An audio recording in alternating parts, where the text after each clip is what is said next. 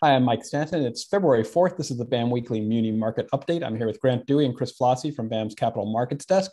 Very interesting and volatile week in the markets this week. Uh, after last week, we continued to see outflows. Uh, Lipper reported $2.9 billion of outflows, uh, third consecutive week of outflows uh, after 44 uh, consecutive weeks of inflows. Um, that large number, though, as Eric Kazatsky over at Bloomberg pointed out, uh, really reversed after the first of the month. the outflows continued through January 31st, and then mutual funds reported inflows uh, on the first couple of days of February.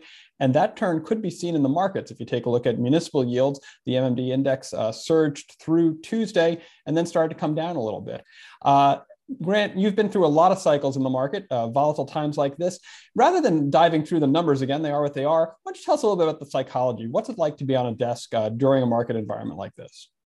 It's uh, you know liquidity becomes a very precious uh, thing. So you're you, know, you have accounts, uh, clients that, you know, they, they want to be sellers, but they don't want to weigh on the market. Um, you know, as funds look for liquidity, they also look to lower their book yield. And so what you see is a lot of, uh, you know, which tend to be lower coupon bonds. So we kind of hit an inflection point uh, on threes where they sort of gapped uh, lower and became, you know, uh, discounts. And so you know, for a little while, the um, there's really more of like structure risk than credit risk. People, uh, a lot of these lower coupons, there's negative negative convexity, and you also have de minimis that starts to weigh into the thinking. So, um, so it ends up being a lot of pressure there.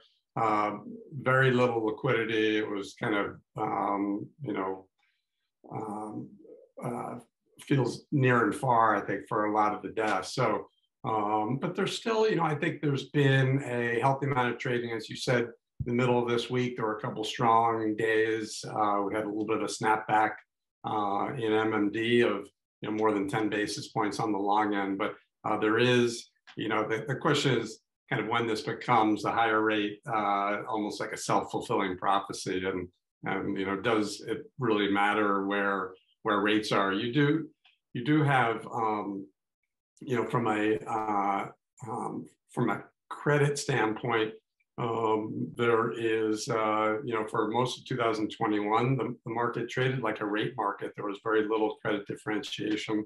I think we'll continue to see a little bit more of that, and um, and so that will be uh, that will be new. But it does, uh, you know, um, uh, traders are are losing money. We had a little bit better performance in munis this week, but you know, it's a frustrating time.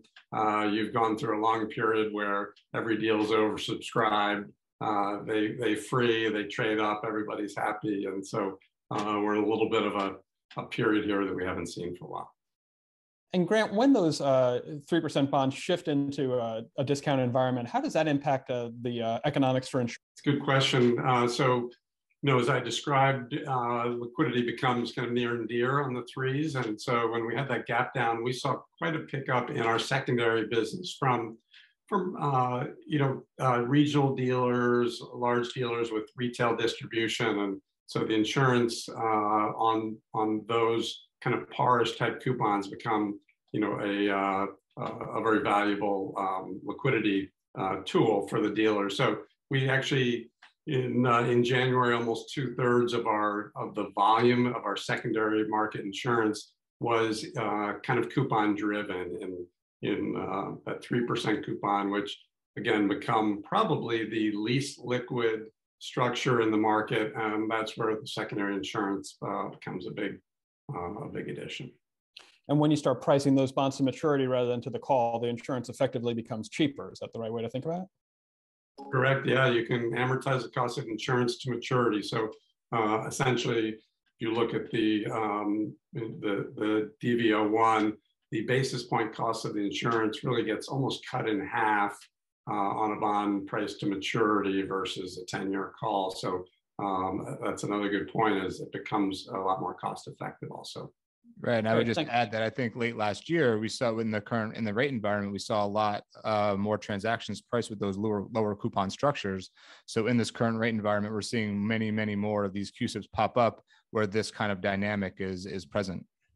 Sure. Uh, it's difficult to come to market with a par bond. So a lot of these threes that we're seeing as pars type bonds now uh, were issued at 50 or 75 basis point premiums. Um, so, uh, and in the taxable market, uh, where most bonds are, or just about all bonds are issued, on taxable munis, all bonds are issued at the coupon. Uh, we have been seeing that dynamic here uh, for a little while as treasuries have backed up, but now tax exempts are entering that same um, dynamic.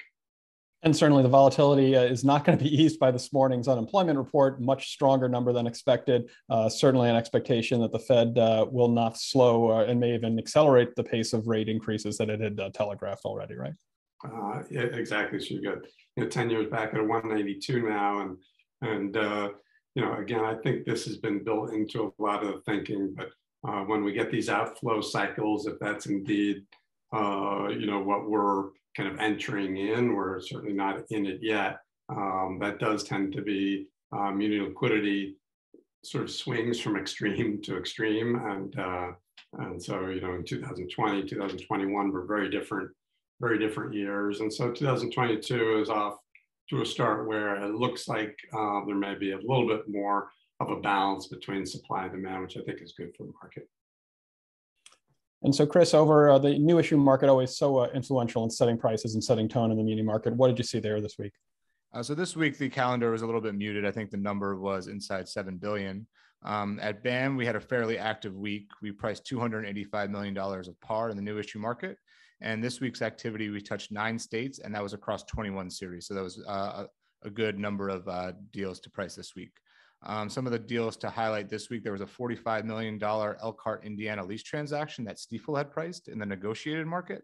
And there were also uh, not terribly common, but there were two larger California school districts that priced this week in the competitive space that BAM ended up insuring there was a Calexico USD deal for $43 million with RW Baird and then a Bakersfield School District in California as well with uh, Hilltop Securities. And that deal actually has an underlying rating of AA3 by Moody's. So nice to see that strong credit uh, come with BAM Insurance. Right. And next week's calendar, a little bit lighter. What uh, what stands out to you there? Right, a little bit more muted again next week. The number is actually inside six billion. Uh, we are seeing a lot of uh, transportation names continue to price and come to market. This week we have the Portland, Oregon airport coming, along with the Greater Orlando airport in Florida, um, and there's also a, a, junior lien Ohio Turnpike transaction. So we continue to see a lot of activity in the transportation sector. I think a lot of that has to do with some of the federal funding that was received um, and the strength of that of that sector. So we we will see those deals come next week. Um, as for BAM, we have roughly 115 million dollars of par insured to price next week. Um, there is a $34 million Wabash County in Indiana transaction that's also a lease deal with Stifel. And then there's also a $23 million Katy Development Authority in Texas uh, with Hilltop. And also on the competitive side, we expect to see the, the volume increase next week in terms of number of transactions, but that average par size is going to remain inside 10 million. So a lot of deals, but a lot of smaller to mid-sized deals expected to come. I think a lot of uh, issuers and their advisors looking at that rate environment, uh, thinking about uh, when the right time to act on refundings might be. Um, whether you you move now if you expect rates are going to keep going up, or if you think there's there's going to be a break, uh, hang on a little while longer. So uh, tough decisions. I'm sure conversations going on across the market right now. Thanks, gentlemen, for your time. Uh, we'll talk to you next week. Thanks, Thanks Mike.